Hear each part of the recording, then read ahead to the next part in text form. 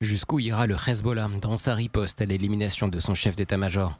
Selon Téhéran, l'organisation terroriste libanaise pourrait s'en prendre à des cibles civiles, loin de la frontière israélo-libanaise.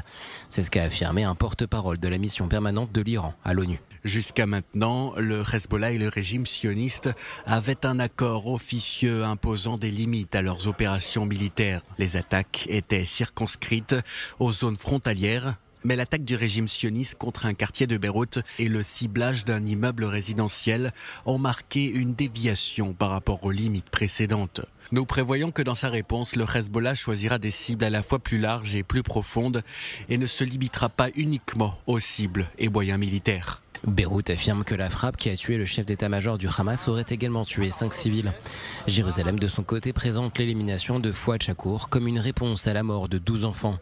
Euh, le chef d'état-major du Hezbollah était, selon Israël, responsable du tir de roquettes qui leur a coûté la vie.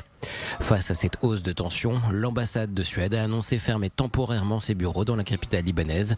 Air France et Transavia ont suspendu leur vol vers Beyrouth, mais les maintiennent vers Tel Aviv.